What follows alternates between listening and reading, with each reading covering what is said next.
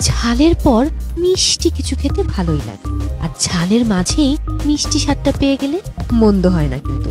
কোরমা তেমনই একটি খাবার। তুর্কি কাবিরমা শব্দ থেকে আসা খাবারটি অনেক রাস্তা ঘুরে এই ভারতীয় উপমহাদেশে এসে কোরমা নামে পরিচিতি পেয়েছে। যে কোরমা ঈদের মতো উৎসবগুলোর জন্য পারফেক্ট একটা খাবার।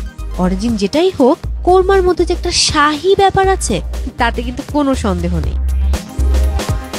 আরেকটা যে বিষয় নিয়ে বিন্দুমাত্র সন্দেহ নেই, সেটি হচ্ছে মেহের আফরোজ শাওনের নানান মুখী প্রতিভা। নাচ গান, অভিনয়, কোনোটাই যেন তার কাছে কোনো ব্যাপারই না। কিন্তু রান্না? সেটাই দেখব আজ। রান্না কি তার জন্য ব্যাপার, নাকি সেটাও তার কাছে কোনো ব্যাপারই না?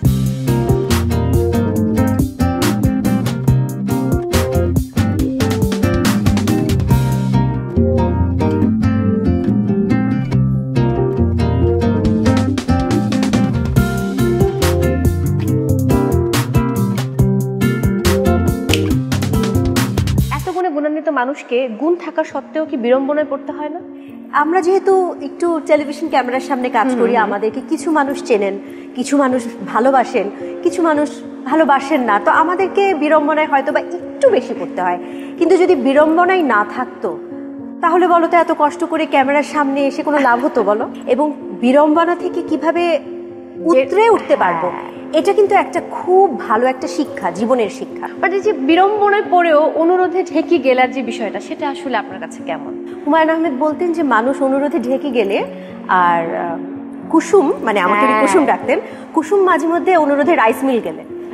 মানে ঢেকি তো ছোটখাটো অংশ আমাকে রাইস মিল গিলতে হয়। আমি রান্নার টপিক আসতে চাই কাজের টপিকে অনেক চলে যাচ্ছি। মানে যে রান্না এটাও তো এক ধরনের মেকিং বাট আমি শুনেছি আপনি রান্নাটা খুব একটা এনজয় করেন না। রোজকার রান্না করতে আমার একদম ভালো লাগে না। আর তার মূল কারণ হচ্ছে আমার বাড়িতে আমার দুটো ছেলে আছে ওরা কেউ ডাল ভাত খেতে পছন্দ করে না। হ্যাঁ কিন্তু আবার আবার বড় ছেলে খুব ভালো রান্নাও করে। সেই প্রসঙ্গে আমি যাব। রান্নার প্রসঙ্গে আছি গল্পে ঢুকে গেছি বাট আমি দর্শকদেরকে এখন আমন্ত্রণ জানাইনি। দর্শক আমি খুবই খুবই সরি বাট বুঝতে পারছেন যে আমি ভীষণ রকম এক্সাইটেড কারণ প্রতিদিন আমি অনুরোধ করি আমার গেস্টদেরকে যে আজকে এই রেসিপি করে খাওয়াতে হবে আমাকে বাট আজকে আমি হার মেনেছি। এবং স্বর্ণপু যখন আমাকে ফোন করেছেন, আমি বলেছি, ওকে, আপনি যেটা রান্না করতে চাইবেন আমি সেটাই আপনাকে রাখতে দেবো। সো আজকে কি রান্না হবে এবং কি চ্যালেঞ্জ মেহের আফসোস শাওন নিচ্ছেন, সেটা তো আপনারা জানতেই পারবেন। তার আগে সবাইকে ওয়েলকাম করছি রাধুনি রেডিমিক্স রান্না কোনো ব্যাপারই না। হ্যাঁ যে রাঁধুনি রেডি মিক্সের মশলা দিয়ে যেই রান্নাটা আমি একটু প্রায় করার চেষ্টা করি বা করি সেরকম একটা রান্না। আমি. তোমাকে কিছু জিনিস রেডি করে রাখতে বলেছিলাম ওগুলো করেছি আপনি রান্নাঘরে গেলেই টের পেয়ে যাবেন। যেহেতু ছেলেদের স্ত্রীর প্রসঙ্গ এসেছে আমি কোথাও কবে যেন একটা ফেসবুক স্ট্যাটাস দেখছিলাম যে আপনি লিখেছেন নিশাদ বড় হয়ে যাচ্ছে তার মানে বউ আনতে হবে ঘরে সেটাও আমি ভাবছি। মানে বউ এলে তাকে আসলে রান্না কে শেখাবে? না আমি বউকে রান্না শেখাতে চাই না। ইনফ্যাক্ট আমি চাই আমার ছেলে যেহেতু রান্না করতে পারে এবং ও হ্যাঁ। খুব ও খুব এক্সপেরিমেন্টাল রান্না করে নিশাদ আমার বড় ছেলে। আমি খুব খুশি হব আমি চাই বলাটা উচিত না। আমি স্বপ্ন দেখি যে ওদের এমন একটি সংসার হবে যেখানে আমার ছেলেই বেশিরভাগ রান্না করবে। এবারে সেই সেগমেন্ট যে সেগমেন্টের নাম হচ্ছে কোনো ব্যাপারই না মোমেন্ট দর্শক আপনারা একদিন ধরে যারা আমাদেরকে দেখছিলেন তারা জেনে গেছেন আমি এই সেগমেন্টটাতে অর্থাৎ কোনো ব্যাপারই না, মোমেন্টে আমার অতিথিকে এক, দুই বা তিনটে বিষয়ে চ্যালেঞ্জ ছুড়ে দেয় এবং সেটা কিন্তু তিনি খুব ভালোভাবে উঠতে যান। যদিও সেখানে অনেক রকম কারসাজি থাকে বাট আজকে কি করব আমি সেটাই ভাবছি। আই থিঙ্ক আপনারা এবার আমার সঙ্গে থাকবেন। সো যিনি আমার সামনে এখন বসে আছেন, মেহের আফরোজ শাওন, যিনি প্রথম সিনেমা নির্মাণ করেছেন কৃষ্ণপক্ষ এবং সেই সিনেমায় গান গাইবার জন্য তিনি পেয়েছেন সেরা গায়িকা হিসেবে জাতীয় চলচ্চিত্র পুরস্কার।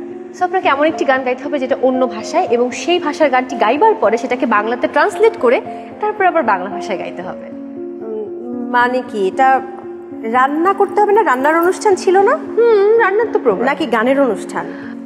মানে মাঝে মধ্যে তো অনুরোধ একটু ঢেকে গিলতে হয়। ওই যে ভক্তদের জন্য এই জন্যই এত বিড়ম্বনার কথা বলছিলে শুরুতে? ইজি করার ট্রাই করছিলাম যে কি করা যায়। আর আপনি তো শুধুমাত্র ঢেকে গেলার মানুষ না রাইস মিল গেলার রাইস মানুষ। মিল তুমি যেই যেই চ্যালেঞ্জটা আমাকে দিলে এটা কিন্তু আমার অলরেডি করাই আছে জানো? ও মাই গড খুব বিখ্যাত গান আছে আচ্ছা। হিন্দি। আচ্ছা। তেরে ঘর কে সামনে এক ঘর বানাউঙ্গা তেরে ঘর কে সামনে। এই গানটির একটি বাংলা ভার্সন আছে বাংলায় এটাকে অনুবাদ করেছিলেন হুমায়ুন আহমেদ আচ্ছা। এবং আমি আর এসআই টুটুল গানটা গিয়েছিলাম। তেরে ঘর কে সামনে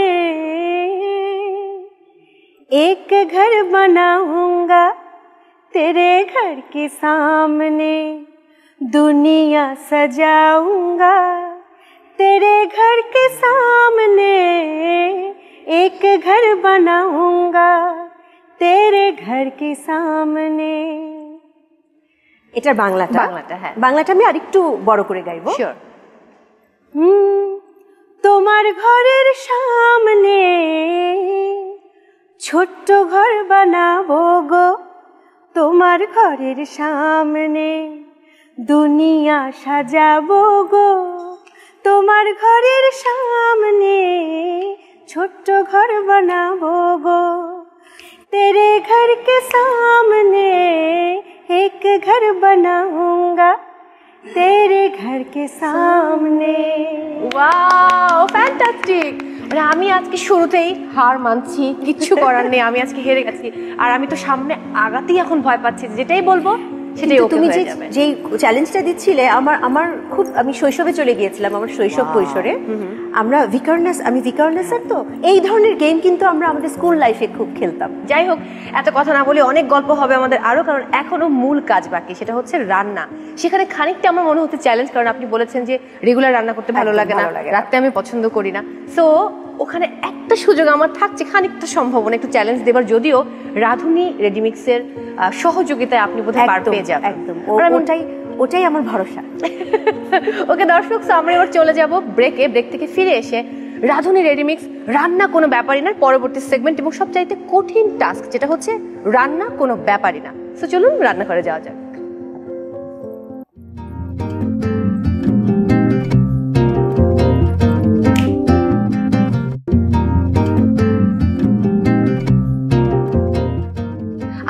কনফিউজ সনপ আমি বুঝতে পারছি না। আপনি আমাকে বলেছেন খাসির মাংস রাখতে আমি সেটা রেখেছি এক কেজি পরিমাণ। কিন্তু এটার সাথে কিশমিশ তারপর ঘি টক দই কাঠবাদাম দুধ মানে আমি- কি সম্পর্ক? খাসির মাংস দিয়ে কোনো ডেজার্ট বানাচ্ছি কিনা এটা তুমি ভাবছ? আমি একটু কম জানি বাট এখনও এটা একটু তোমার কৌতূহলটা থাকুক বরং হ্যাঁ। আমি খুঁজি রাঁধুনি রেডিমিক্স যেটা দিয়ে আমি এটা রান্না করব সেটা এখানে কোথায় আছে? আমি ওটা নিয়ে আসি। আপু খুঁজতে থাকুক এই ফাঁকে আমি দর্শকদেরকে ওয়েলকাম করি যে সবাইকে আরও একবার ওয়েলকাম করছি রাধুনি রেডিমিক্স রান্না কোনো ব্যাপারই না বাট আমি আজকে খুবই কনফিউজ কারণ আমি কিছুই করতে পারছি না। মানে যেইটাই হাতে নিচ্ছি না কেন প্রত্যেকটাতে ফেলার এবং প্রতিদিন যেটা হয় যে আমি একটা খুব ভাবে থাকি বাট আজকে ভাবটা নিতে পারছি না। কোরমা। কোরমা মশলা। মানে আচ্ছা। এখানে অবশ্য ছবি দেওয়া আছে মুরগির। হ্যাঁ। আমি আজকে খাসির মাংসের কোরমা রান্না করব। ওকে। সো এবার আমি আপনাকে হেল্প করব। এই হচ্ছে আপনার পাত্র। হ্যাঁ তুমি এখানে মাংসটা দেবে। শিওর আমি কিন্তু হেল্প করতে পারি খুব ভালো। হ্যাঁ একদম। এবং তোমার মতো একটা সুন্দর একটা হেল্পিং হ্যান্ড পেলে আমি কিন্তু রোজ রান্নাঘরে যাব। যদি সেটা হতো। এখন তুমি মাংসটা ঢেলে দিয়েছ। হ্যাঁ। এখন যেটা করবে আমি প্যাকেটটা খুলে দিচ্ছি। এখান থেকে আমাকে পড়ে পড়ে শোনাবে শিওর এটা আমি খুব ভালো পারি করতে। নিজেকে কিচ্ছু করতে হচ্ছে না শুধু বলতে হচ্ছে। একদম। সো আমাদের কি কি আছে? প্রস্তুতি পর্ব মাংস ধুয়ে পানি ছড়িয়ে নিন সেটা আমরা নিয়েছি করে already। নিয়েছি হ্যাঁ নিয়েছো. আমি আগেই তোমাকে বলে রেখেছিলাম। আচ্ছা এখানে তিরিশ গ্রাম আছে মানে এক প্যাকেট টোটালি পুরোটা এক কেজির জন্য। এক কেজির জন্য। এক কেজি খাসির মাংস মুরগির মাংস আর গরুর মাংস। একদম। ওকে সো আমি বলছি এরপরে লাগবে হচ্ছে কাঠবাদাম কাঠবাদাম বাটা রেখেছি যেহেতু এটা হচ্ছে পনেরো পিস কাঠবাদাম আমরা আগেই এটা ব্লেন্ড করে নিয়েছি। পেঁয়াজ বাটা তিন টেবিল চামচ।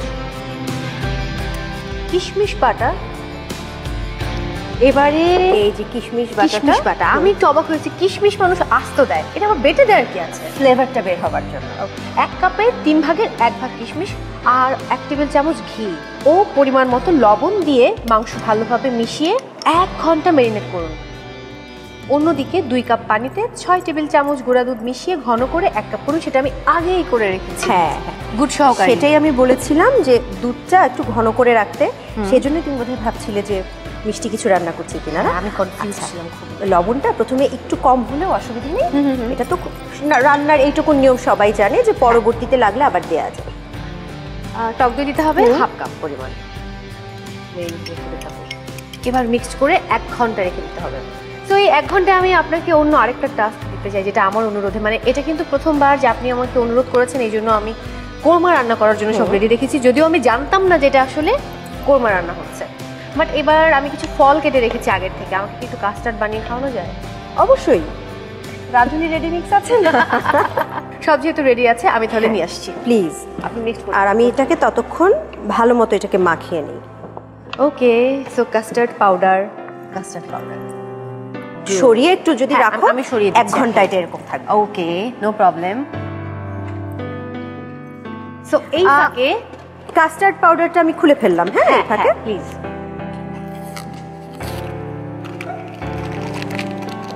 আপনার ইনগ্রেডিয়েন্টস এটাতে কাস্টার্ড খুবই খুবই ইজি কারণ এখানে পাঁচশো মিলিলিটার দুধ লাগবে। আমি একটু বেশি নিয়েছি এটা অর্ধেকটা হচ্ছে পাঁচশো মিলিলিটার হবে। গরম হয়েছে। আর আর একটু লাগবে।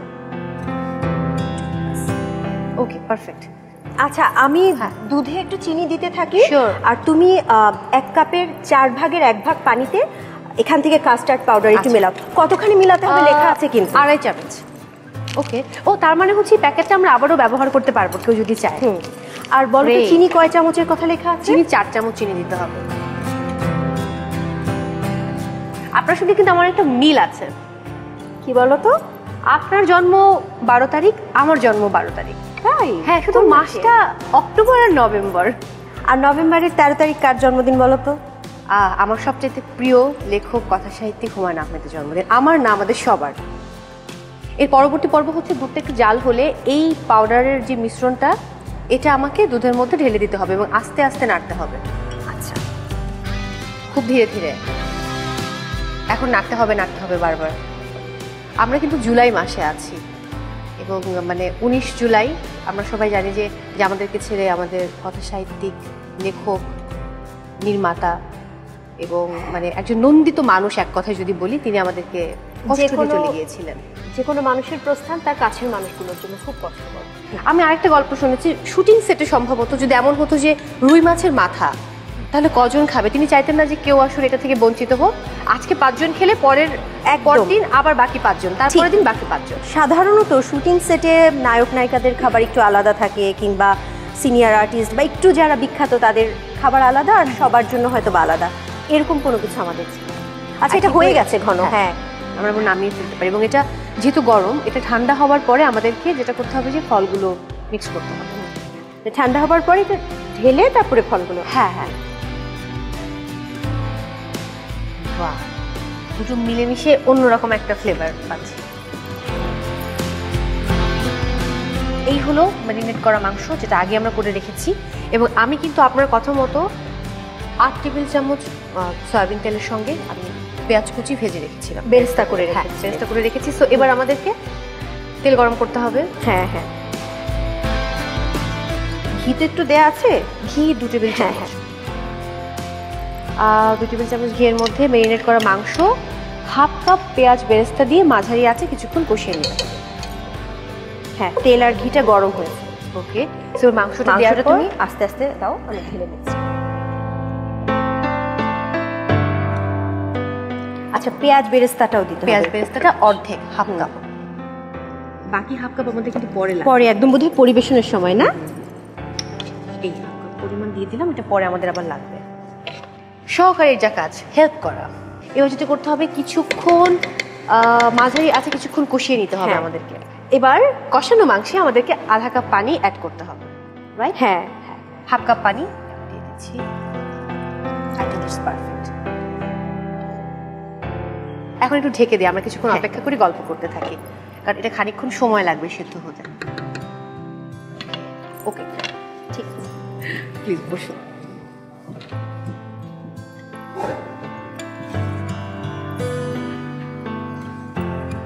রান্না তো হচ্ছে রান্নার মতো। কিন্তু আমি শুনেছি এরকমটা যে মাত্র পনেরো মিনিটের সিদ্ধান্তে আপনি কৃষ্ণপক্ষ নির্মাণ করেছিলেন। তাহলে এতদিন কেন সময় নিতে হচ্ছে? আমার সিদ্ধান্তের ব্যাপারটা সবসময় এরকমই হয়। আমি অনেক দিন ধরে যেটা ভেবে রাখি যে করব করব সেরকম বহু কিছু জীবনে করতেই পারিনি। আবার অনেক কিছু ভাবিনি যে করব বা করা হবে। একদম হঠাৎ করে ভাবলাম যে করব।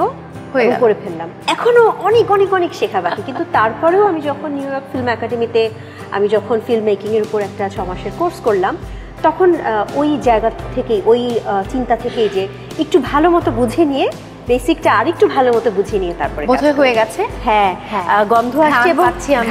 পাচ্ছি। রাইট কিন্তু এই ফাঁকে আমি একটু শুনি যে যে অ্যাক্টিং এর কথা তো বলছিলেন কিন্তু আমরা সবাই কিন্তু অভিনেত্রী মেহের আফরোজ শাওনকে মিস করি। অভিনেত্রী শাওনকে আমিও মিস করি। আমার মনে হয় খুব ভালো একটা গল্প এবং ভালো নির্মাতা যখন অভিনেত্রী শাওনকে মিস করবে তখনই চলে আসা। তখন হবে। একদম এখন আচ্ছা, এখন দুধটা দিতে হবে। রাইট এক কাপ ঘন দুধ এবং আস্ত কাঁচামরিচ দিয়ে মিডো আছে পাঁচ মিনিট রান্না করতে হবে। এই যে কাঁচামরিচ কিন্তু আমি আগেই ফালি করে রেখে এখানে এক কাপের একটু বেশি ছিল তো? হ্যাঁ। আমি পুরোটা দিলাম না এই জন্য. আর কাঁচামরিচ ফালিটা। আর এটা একটু পাঁচ মিনিট পাঁচ মিনিট রান্না করতে হবে। পাঁচ মিনিট এটা একটু রান্না করলে তখন এটা নামিয়ে এটার উপরে ওই বাকি পেঁয়াজ বেরেস্তাটুকুন দিয়ে দিতে হবে। আর এটা সুন্দর মানে তেলটাও উঠেছে উপরে। আপনি এবার পরিবেশন করতে পারেন। হাতেও লেগে যেতে পারফেক্ট না? বাকিটা মনে হচ্ছে এটার জন্য পারফেক্ট আ এত দারুণ স্মেল ওয়াও আমি পেঁয়াজ বেরেস্তাটা উপরে দিই তুমি পাত্রটা ওখানে সিঙ্কের কাছে রেখে আসো। শিওর শিওর শিওর আমি রেখে কি দ্রুত আমাদের চটপট রান্না হয়ে গেল এবং মেইন ডিশের পরে একটা ডেজার্ট না থাকলে না জমে না। আমি কিন্তু আগেই স্লাইস করে রেখে দিয়েছি পাঁচ রকমের ফল। এটা দিয়ে দিয়ে দিই না ফলগুলো।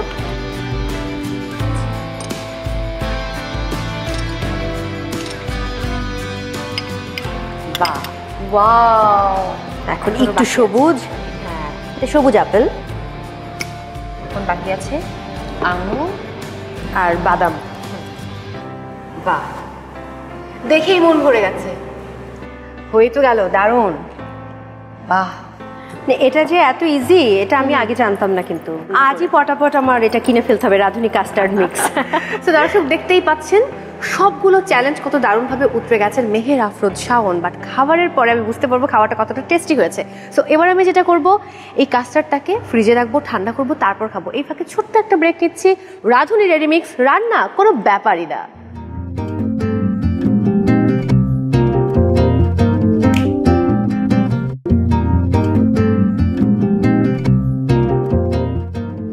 তুমি কি মাংসর পিস বেশি পছন্দ করো নাকি একটু হাড়? একটু হাড় হলে বেটার তাহলে এই পিসটা না এই পিসটা তোমাকে দিই। একটু ধরো তুমি বাটিটা। দেখি চ্যালেঞ্জে পাশ করা গেল কিনা। আমি নিজেই ভয় পাচ্ছি যে চ্যালেঞ্জে পাশ করলাম কিনা। খাওয়ার পর বুঝতে পারব। না সফট হয়েছে। হ্যাঁ। একদম পারফেক্ট সিদ্ধ হয়েছে কিন্তু ওয়াও ভালো হলে আমার গুণ। হুম। আর একটু কম ভালো হলে রাধুনির দোষ তোমার দোষ। রাধুনিকে দোষ দেওয়ার সুযোগই নেই। একদম না। হুম। রাঁধুনি মশলা মিক্সের যেটা একদম ঢালার পর যে ফ্লেভারটা ছিল সেই ফ্লেভারটা আরও মানে মাংসের সাথে ঘিয়ের সাথে দুধের সাথে দইয়ের সাথে মিলে অন্যরকম। এবং আমি মানে কোরমা খাই আম্মুর আম্মুর হাতের রান্না। বাট রাধুনি রেডিমিক্স এই কোরমার মশলাটা আমাকে একটা ডিফারেন্ট টেস্টে কোরমা খাওয়াচ্ছে। জাস্ট ওয়াও বলতেই হবে দশে দশ একদম। মানে সব কিছুতে প্লাস তুমি আমাকে বেশি বেশি করে নাম্বার দাও, আমি এই নাম্বারের সার্টিফিকেট বাঁধিয়ে ফেলব। দর্শক, আপনাদেরকে বলতেই ভুলে গেছি, আমি অন্তত ভেবেছিলাম যে এই চ্যালেঞ্জে তিনি একটু হলেও হালকা রকমের হেরে যাবেন, কিন্তু আমি পারিনি, আমি ব্যর্থ। কারণ তার সঙ্গে ছিল রাধুনি রেডিমিক্স আর শাওনাপুর সবকিছুতে সেরা। সো রান্নাটাও করেছেন খুব পারফেক্টলি সবাইকে আরও একবার ওয়েলকাম করছি, রাধুনি রেডিমিক্স রান্না কোনো ব্যাপারই না। খেতে থাকি, কারণ এখন অনেক খাওয়া বাকি। এবং এটার পরে কিন্তু ডেজার্ট এখনও ট্রাই করিনি। আচ্ছা আমাকে একটু বলেন তো যে নিশাত নিনি। নিশাত তো ভালো রান্না করে যেহেতু মা রান্না করতে পছন্দ করে না সে কি এটা বাবার থেকে পেয়েছে? মানে হুমায়ুন স্যার রান্না করতে ভালোবাসতেন? হুমায়ুন আহমেদ হঠাৎ হঠাৎ রান্না করতে চাইতেন। যেমন কোরবানি ঈদের পরে রান্না করতে চাইতেন সেই কোরবানির মাংস দিয়ে। কিন্তু রান্না করাটাকে খুব যে পছন্দ করতেন তা না বা নিয়মিত এরকম না। নিশাদ এটা পেয়েছে আমার মার কাছ থেকে মানে ওর নানুর কাছ আচ্ছা। থেকে। ওনার কাছ থেকে এটা হচ্ছে জেনেটিক্যালি কিছু পেয়েছে। আর খুব আনন্দ নিয়ে এসে ছোটবেলা থেকে একটু রান্নাঘরে যেত আমার ছোট বোনের সাথে। তো ওই রান্নাঘরে যাওয়ার যে অভ্যাসটা ওর সাত আট বছর বয়স থেকে যে খালার সাথে যেতে যেতে একটা অভ্যাস গড়ে উঠেছে। হ্যাঁ না হলে এই বয়সে এত চমৎকার রান্না করা কিন্তু সম্ভব। এবার কাজটা টেস্ট করা হ্যাঁ আমি এটাতে বেশি ইন্টারেস্টেড কারণ এটা আমি আগে কখনো করিনি। হুম ওয়াও এটা পুরোটাই রেডি মিক্সের গুণ। হুম হুম একদম। মানে রাঁধুনি রেডিমিক্স থাকলে রান্না কোনো ব্যাপারই না। তো আমি যে পরিমাণ খাচ্ছি প্রতিদিন আমার জন্য ঈদের দিন মানে ঈদের আগে আমার জন্য ঈদের দিন। ঈদের আগেই একদম খেয়ে দিয়ে মোটু হয়ে যাবে না? একদম। না তখন কি হবে ঈদে আমার আমি জানি না। আর যে পরিমাণ খাবার খাচ্ছি বাচ্চারা যারা ফ্রুটস খেতে পছন্দ করে না তাদের জন্য কিন্তু এটা একটা খুব ভালো জিনিস। রাইট মানে রাইট ওরা আইসক্রিম আইসক্রিম একটা ফ্লেভার আছে তো। ওদেরকে এইভাবে একটু ফ্রুটস খাইয়ে দেওয়া যাবে এটা খুবই স্বাস্থ্যকর বলতে হবে। তো দর্শক, সবাই অনেক ভালো থাকুন। আমি মৌসুমি মৌ আবারও হাজির হয়ে যাব আরও একজন নতুন তারকাকে সঙ্গে নিয়ে এবং নতুন কঠিন রেসিপি কিন্তু সহজ করে রান্নার উপায়টা বাতলে দেবে রাঁধুনি রেডিমিক্স রান্না কোনো ব্যাপারই না। আমরা যখন যে টেবিলে, চেয়ারে বসে খাচ্ছি, কিন্তু আমি শুনেছি হুমায়ুন স্যার শুটিংয়ের সময়টাতে মাটিতে বসে খেতেন। উনি মাটিতে বসে খেতেই পছন্দ করতেন। আমাদের বাসায় দীর্ঘদিন কোনো ডাইনিং টেবিল ছিল না। আচ্ছা। একটা ওই যে জাপানি টেবিলগুলোর মতো একটা লো হাইট টেবিল ছিল। হ্যাঁ, মানে মাটিতে মার্বেলের একটা হ্যাঁ আমরা হ্যাঁ। মাটিতে বসে টেবিলে রেখে খেতাম। তো সেই প্র্যাকটিসটা বহু বছর ছিল এবং এখনও এখনও আমার বাসায় কোনো ফর্মাল ডাইনিং টেবিল নেই ওই লো হাইটের টেবিলে আমরা খাই। সেটাতে খাওয়ার সুযোগ হয়নি বাট আপনার রান্না আমি কিন্তু আজকে ঠিকই খেয়ে নিলাম। আপনি যখন অনায়াসে যিনি কঠিন কাজকে কোনো ব্যাপার না বলে সামলে নিতে পারেন রান্নাটা তার জন্য হোক একটু সহজ সেটাই রাঁধুনির চেষ্টা। আপনাদের জন্য উৎসবের লম্বা প্রিপারেশনের ঝামেলাটা সহজ করতে হাতের কাছেই আছে রাঁধুনি রেডিমিক্স তা দিয়ে তৈরি হোক সুস্বাদু কোরমা বা কাস্টার্ড কিংবা যেটা আপনার ইচ্ছে। আরও কিছু মজার রান্না দেখতে আমন্ত্রণ রইল। দেখতে ভুলবেন না, রান্না কোনো ব্যাপারই না অনুষ্ঠানের নেক্সট এপিসোড